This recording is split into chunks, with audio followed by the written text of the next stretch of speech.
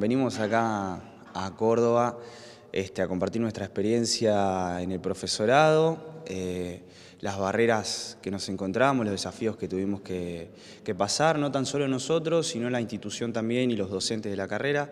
Así que venimos a compartir eso junto a Charlie. Este, y bueno, y también las herramientas y los dispositivos que nos eh, pudimos hacer junto con la institución eh, para facilitar la enseñanza y, bueno, y así poder eh, asimilar los conceptos que después tenemos que enseñar en el campo. Eso es lo que venimos a, bueno, eh, a charlar un poco con los docentes de acá de la, de la UNI. Y justamente, ¿cuáles fueron algunas de esas herramientas que ustedes pudieron poner en marcha para facilitar su tránsito por la universidad?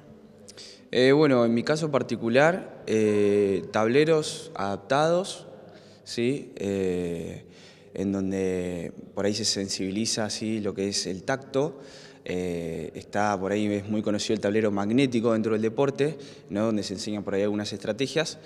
Eh, pero el tablero magnético no tiene relieve ¿no? de una cancha, por ejemplo. Eh, entonces, gente del instituto donde yo estudié, que es el Instituto ICE, ¿sí? Instituto Superior de Estudios Especializados de Punta Alta, eh, ellos me facilitaron eh, tableros con relieve ¿sí? Eh, de las materias que cursaba ese año, así como hockey, rugby y softball.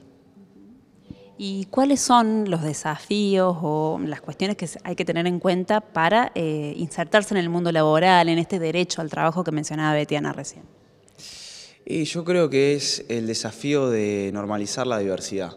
Es un desafío muy grande, suena muy fácil, eh, pero en la práctica no es tan fácil.